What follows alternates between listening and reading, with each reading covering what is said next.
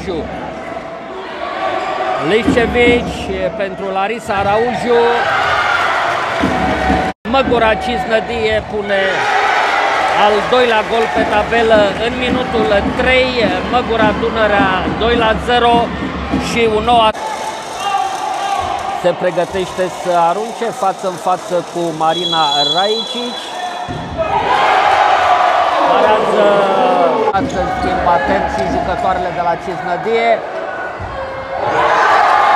Voltă încercată acum de Aneta Udriștoiu. Popa, Jivkovic. Aruncă Kepici pe lângă poartă, Gonzales, Popa. Astăzi înscrie pentru Măgura, mai sunt 5 secunde.